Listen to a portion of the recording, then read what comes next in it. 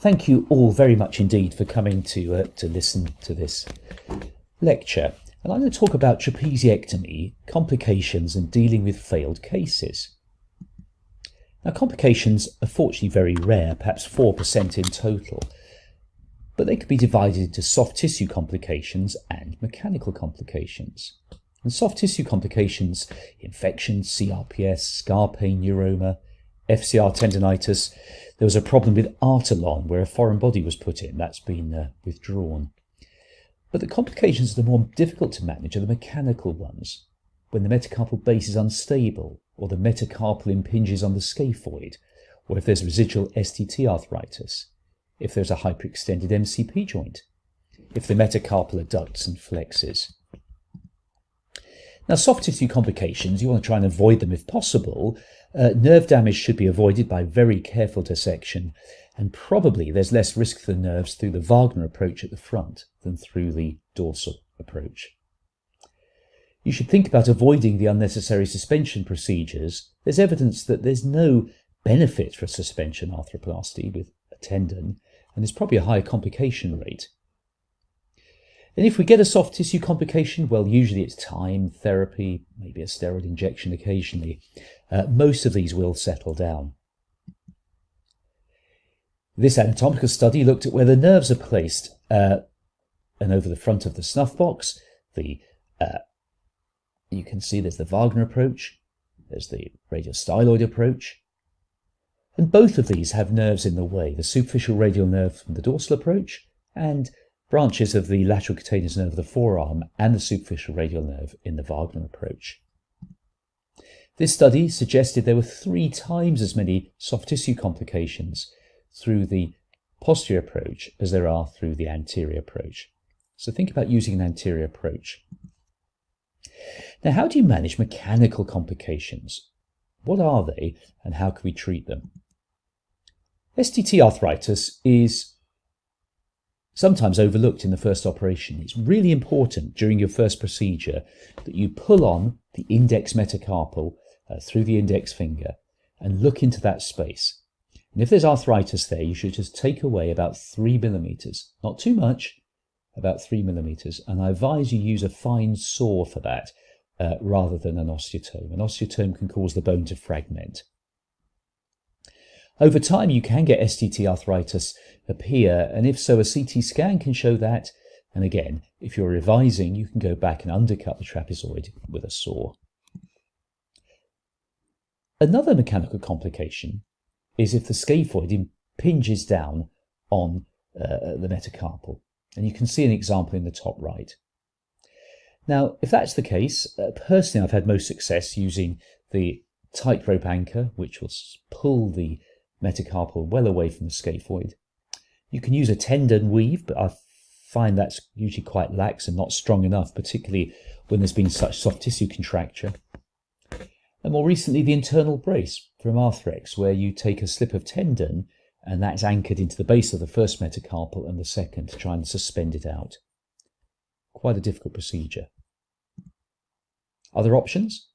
Uh, here, uh, from David Evans, was using the Silastic implant. is a digital implant it's turned upside down. The uh, it's cut a bit short, and that's put into the space. Only for impingement of the two bones. This option was discussed um, using a piece of rib cartilage into the space. I've not done that, uh, but I guess it's an option.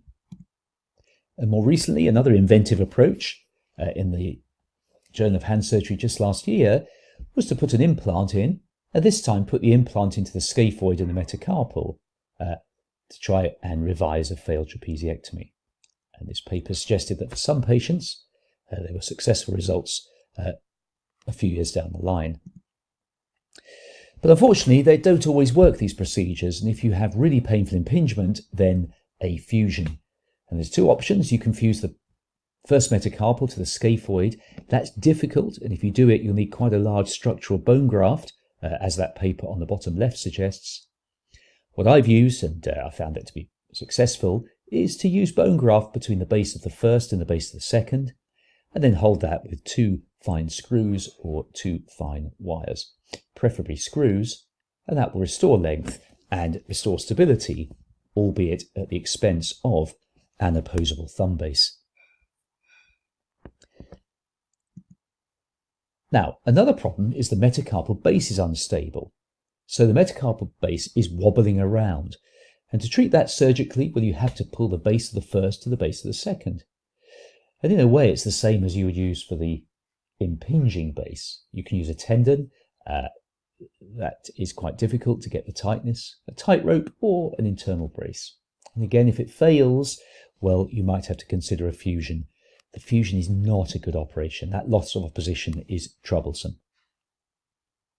Another problem is the zigzag collapse, where you have the metacarpal base is flexed and adducted, as you can see there, and you have secondary MP joint hyperextension.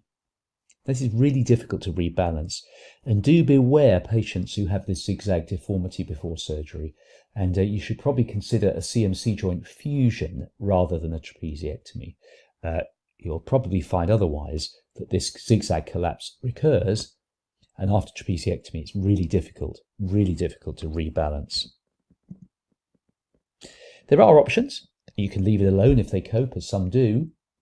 The APL tenodesis is worth trying. There's one I've done on the right, where you take APL and you find one of the slips beneath the just beneath the uh, brachioradialis, and you insert that down into the radius using a bone anchor hold it with a wire for a few weeks, and you can see how that pulls out the metacarpal base and at the same time corrects the MP flexion. Other options, you could try a tightrope. Uh, I find that doesn't really correct that adducted posture. And again, if all fails, the dreadful operation, a fusion onto the scaphoid or the first to the second metacarpal.